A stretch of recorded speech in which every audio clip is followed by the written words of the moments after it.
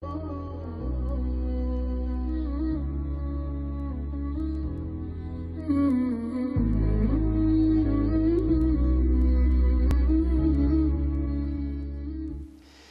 الله الرحمن الرحيم الحمد لله رب العالمين والصلاة والسلام على نبينا محمد وعلى آله وصحبه أجمعين أما بعد فإنه من خصائص هذه الأمة أن الله تبارك وتعالى قد أكرمها بليلة هي خير من ألف شهر.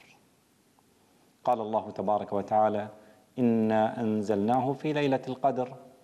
وما أدراك ما ليلة القدر؟ ليلة القدر خير من ألف شهر. هذه الليلة المباركة ليلة القدر هي أفضل من عبادة ألف شهر ليس فيها ليلة القدر. إن الله سبحانه وتعالى اطلع على أعمار أمة محمد صلوات الله وسلامه عليه. ووجدها بأنها قصيرة. والأمم السابقة كانت أعمارهم طويلة. فأراد الله جل وعلا بأن يكرم هذه الأمة بهذه الليلة التي يكون العمل فيها أفضل من عبادة ألف شهر. والسبب في التحديد بألف شهر بأن الأمم السابقة كان العابد فيهم لا يطلق عليه اسم العابد حتى يعبد الله ألف شهر. فكانوا يذهبون إلى المغارات وإلى الأودية ويعبدون الله ألف شهر. فالله جل وعلا قد أكرم هذه الأمة بليلة هي خير من ألف شهر وألف شهر ثلاث وثمانين سنة وأربعة أشهر. فالعمل الصالح في ليلة القدر هو لا يساوي ألف شهر بل هو أكثر من ألف شهر. فلذلك هذا الإكرام العظيم من الله جل وعلا يجعلنا نجتهد في هذه الليلة المباركة. وقتها في العشر الأواخر قال رسول الله صلى الله عليه وآله وسلم تحروها في العشر الأواخر من شهر رمضان وورد حديث آخر تحروها في الوتر من العشر الأواخر من شهر رمضان. وإن أرجى ليلة. يرجى أن تكون هي ليلة القدر هي ليلة سبع وعشرين. بل إن بعض أصحاب النبي صلوات الله وسلامه عليه يقسم بأنها ليلة سبع وعشرين. نجتهد في الوتر من العشر الأواخر وبالنسبة لليلة سبع وعشرين فإنها أرجى ليلة. يرجى أن تكون هي ليلة القدر. هذه الليلة التي تبتدئ من الغروب وتنتهي بطلوع الفجر أي بأذان الفجر ففيها الفضل العظيم عند الله تبارك وتعالى. قال رسول الله صلى الله عليه وآله وسلم من قام ليلة القدر إيمانا واحتسابا غفر له ما تقدم من ذنبه. فأنت إذا قمت في ليلة القدر مؤمنا بربنا جل وعلا. محتسبا الأجر عند الله. يغفر الخالق جل وعلا كل الذنوب السابقة. وهذا من فضله جل وعلا. كذلك من فضلها من فضل هذه الليلة بأنها سالمة من الآفات. سلام هي حتى مطلع الفجر. هذه السلامة التي هي بسبب نزول الرحمات من الخالق تبارك وتعالى. الأمر الثالث بأن الملائكة تنزل فيها والملائكة عندما تنزل فإن مع نزول الملائكة البركة والمغفرة والرحمة وذلك لأنها أي هذه الملائكة لا تأتي إلا والخير يكون معها. كذلك بالنسبة للدعاء في هذه الليلة يكون دعاء مستجابا. قالت أم المؤمنين عائشة لرسول الله صلوات الله وسلامه عليه أرأيت إن أدركت ليلة القدر فماذا أقول؟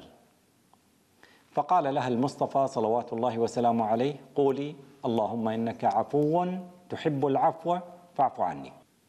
وفي رواية اللهم إنك عفو كريم تحب العفو فاعف عني. يستفاد من هذا الحديث عدة أمور. أولا بأن الدعاء في هذه الليلة هو من الأمور الثابتة ومما قد دعا إليه النبي عليه الصلاة والسلام. الأمر الثاني بأن النبي صلوات الله وسلامه عليه لم يقل له لم يقل لأم المؤمنين عائشة بأنك لن تعرفيها وإنما قال لها إن أدركتيها قولي اللهم إنك عفو تحب العفو فاعف عني. ولو نظرنا إلى هذا الدعاء لوجدنا بأنه طلب العفو من الله جل وعلا.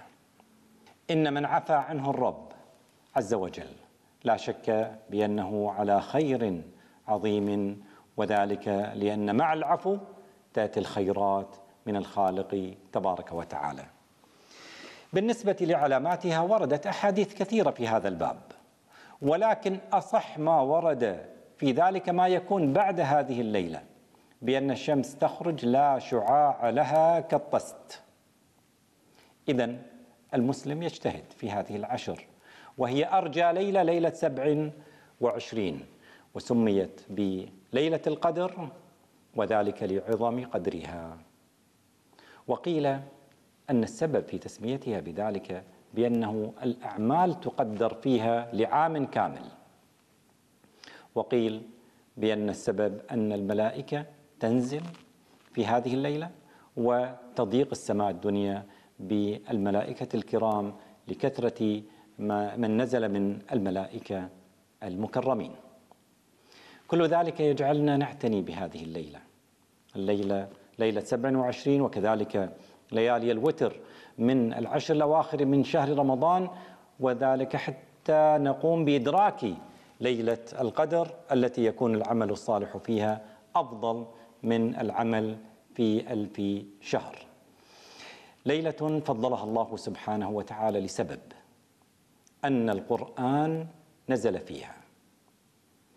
وكل ما ارتبط بالقرآن الكريم من ليلة فأصبحت أفضل ليالي السنة للمسلمين. الشهر شهر رمضان الذي أنزل فيه القرآن هو سيد الشهور. النبي الكريم صلوات الله وسلامه عليه هو سيد ولد آدم. الملك المرسل جبريل عليه السلام هو سيد الملائكة.